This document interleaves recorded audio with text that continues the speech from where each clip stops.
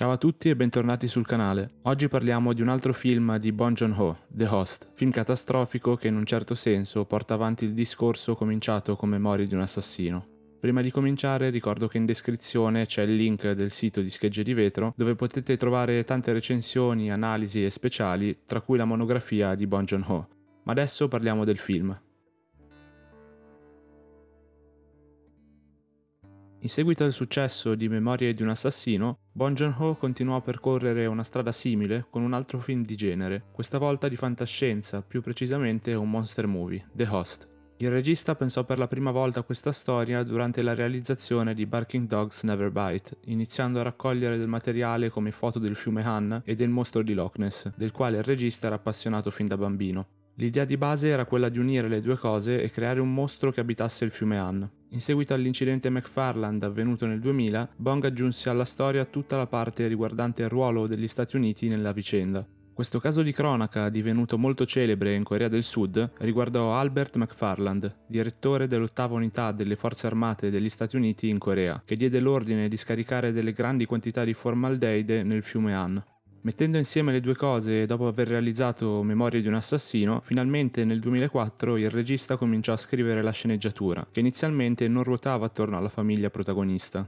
Come ricorda lo stesso Bong, fu la visione di Science di M. Night Shyamalan a fargli venire in mente di raccontare la storia dal punto di vista della stravagante famiglia Park. Se già Memorie di un assassino fu un caso cinematografico nel 2003 con circa 5 milioni di spettatori in Corea del Sud, con The Host Bong riuscì a fare ancora di più. Venne visto da circa 13 milioni di spettatori al cinema nel 2006, anno in cui la popolazione della Corea del Sud si aggirava intorno ai 48 milioni di abitanti. In sostanza quindi un quarto della popolazione coreana lo andò a vedere al cinema, record che venne battuto soltanto nel 2010 da Avatar di James Cameron. Un successo clamoroso che, come per il film precedente, è attribuibile soprattutto all'abilità di Bong di utilizzare il cinema di genere come un mezzo per esorcizzare dei traumi collettivi della popolazione coreana. Nell'analisi di Memorie di un assassino è stato inevitabile ricorrere al paragone con Zodiac di David Fincher, per via della decostruzione delle regole del genere thriller, ma anche per la capacità di entrambi i registi di riaprire ferite nazionali ancora aperte. Anche nel caso di The Host risulta necessario fare riferimento a due film, Cloverfield e Science, entrambi strettamente connessi, come lo è anche Zodiac, all'attentato dell'11 settembre 2001 e al periodo di tensione che lo ha seguito. Le tre pellicole hanno affrontato in diversi modi questo trauma collettivo. Fincher ha cercato di rappresentare metaforicamente il nemico invisibile, lo spettro del terrorismo, attraverso la storia del killer dello zodiaco, Matt Reeves con Cloverfield ha tentato di far provare allo spettatore qualcosa di simile a ciò che deve aver provato chi realmente ha vissuto l'attentato al World Trade Center. Shyamalan invece è stato il meno incisivo a causa soprattutto del periodo di distribuzione del film, ancora troppo vicino all'attentato, e ha cercato di mostrare come stando uniti si possa sconfiggere il nemico, alieno o umano che sia. The Host si avvicina molto a Cloverfield perché in entrambi i casi l'intento è quello di creare dei mostri strettamente legati al paese in cui sono ambientate le storie. Il motivo per cui le due pellicole sono molto efficaci è il fatto che non si siano limitate a riproporre dei mostri già esistenti appartenenti ad altre culture, come è successo ad esempio con il Godzilla del 1998 di Roland Emmerich, film decisamente non all'altezza delle controparti giapponesi proprio per via del distacco culturale. Non a caso è stato necessario aspettare Shin Godzilla di Dekai Anno per tornare a vedere un film della serie più interessato alla critica sociale. Detto ciò, va sottolineato che Cloverfield è di più facile interpretazione rispetto a The Host perché il rimando all'11 settembre è da vedersi soprattutto nell'estetica adottata dal regista, quella del mockumentary found footage digitale ispirata direttamente dalle riprese reali di chi ha documentato l'attentato al World Trade Center. Si tratta di immagini che hanno fatto il giro del mondo e che si sono impresse nella memoria collettiva di tutti quanti, travalicando i confini nazionali. Il film di Bong è più difficile da sviscerare per uno spettatore occidentale per via del gap culturale di cui abbiamo parlato nell'analisi di Memorie di un assassino. Per gli spettatori coreani che nel 2006 andarono a vederlo al cinema, però, l'effetto deve essere stato simile a quello di Cloverfield sul pubblico statunitense. Ho già menzionato l'incidente McFarland da cui il film prende le mosse, ma è solo la punta dell'iceberg.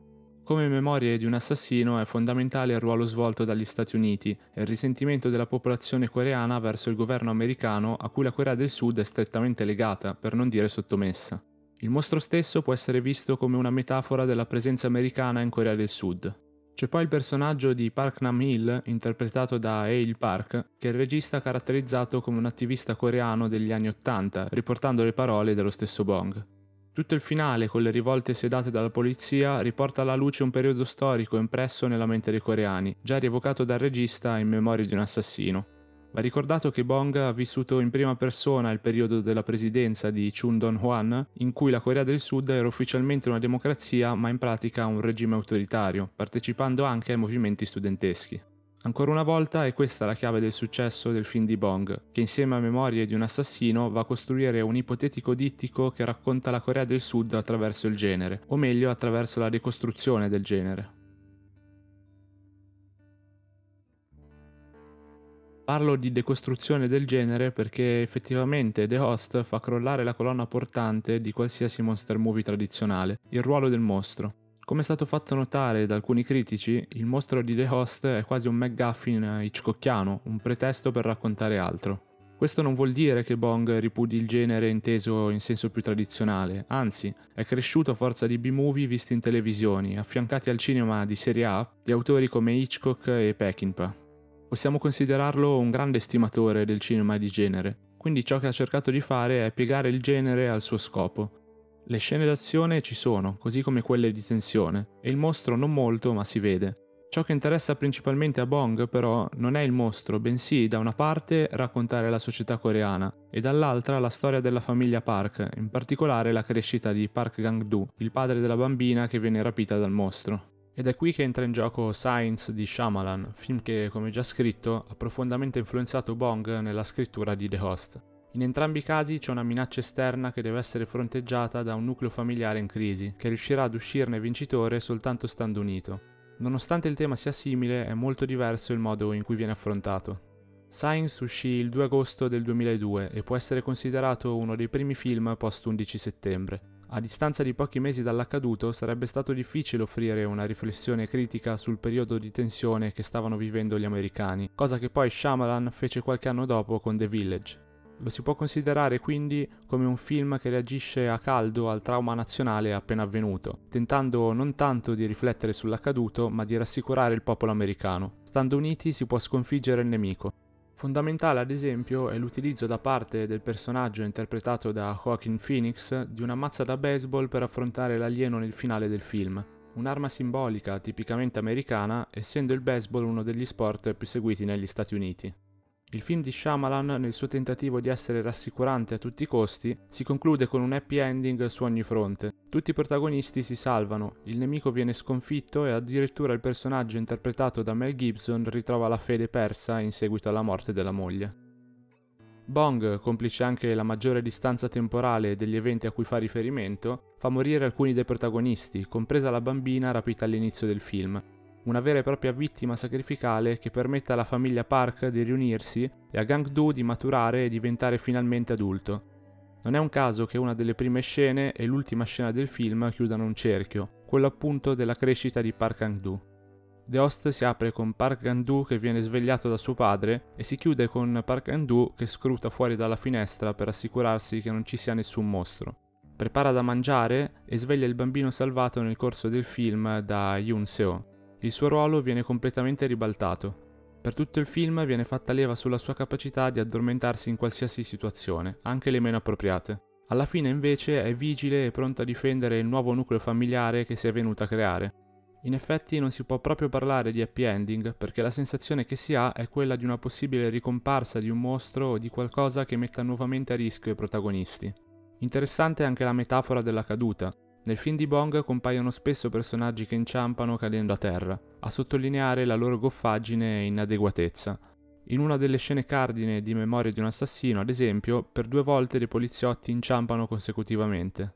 In The Host è invece Gang-doo che nella prima parte del film continua a cadere, mentre nella seconda, specialmente dopo quella specie di lobotomia a cui viene sottoposto, non cade più, un altro simbolo della sua crescita.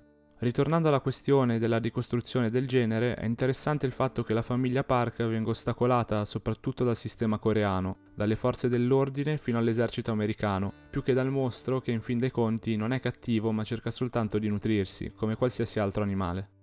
Un altro elemento che riporta alla mente Memoria di un assassino, dove a fare danni era più la burocrazia e l'incompetenza della polizia che il serial killer stesso. Anche in The Host torna la metafora dei sotterranei come luogo in cui viene nascosto ciò che non vuole essere reso pubblico. Il mostro di The Host porta tutte le vittime nelle fogne di Seoul collegate al fiume Han, dove è stata scaricata la formaldeide che probabilmente è l'origine del mostro stesso. E quindi ancora una volta è in un ambiente sotterraneo che si nasconde il marcio della società coreana per Bong Joon-ho, come in Memoria di un assassino in cui le torture avvenivano nello scantinato della stazione di polizia o come tutti i sotterranei di cui abbiamo parlato nell'analisi di Parasite. Non a caso il mostro non viene mai fatto vedere nei notiziari che compaiono nel corso del film. Entra in gioco un presunto virus che poi si scoprirà non esistere realmente, sul quale si concentra l'attenzione dei media e che provoca una specie di isteria pubblica, ma il mostro viene completamente lasciato da parte, proprio per ciò che rappresenta. Questo, nel finale, rende Gangdu, che inizialmente sembrava stupido, addirittura al di sopra degli altri, perché è uno dei pochi ad aver preso coscienza, a vedere la vera minaccia andando oltre a ciò che viene diffuso dai media.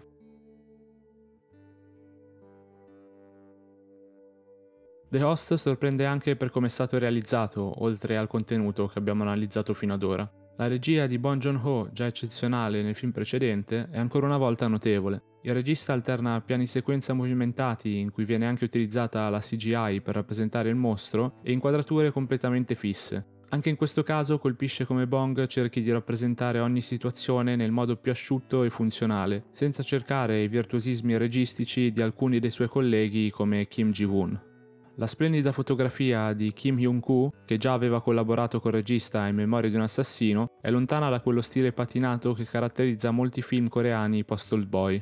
Sorprendono gli effetti speciali digitali, specialmente se si pensa che è un film del 2006 e che non si tratta di una produzione hollywoodiana. Inizialmente il regista aveva pensato di appoggiarsi alla Weta Studios di Peter Jackson, ma dopo il clamoroso successo ottenuto con la saga del Signore degli Anelli, i prezzi della compagnia di Jackson divennero inaccessibili.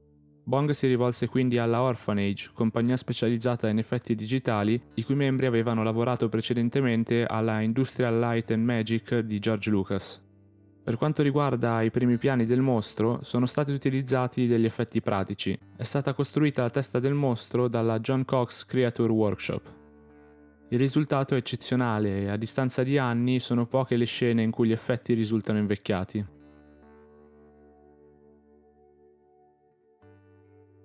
Con The Host, Bon Joon-ho ha portato avanti quanto cominciato con Memoria di un assassino, realizzando un altro film fondamentale per la cinematografia della Corea del Sud, sia a livello di incassi domestici, come già spiegato, che per quanto riguarda l'accoglienza all'estero. Il nome del regista è iniziato ad essere noto anche fuori dai confini nazionali.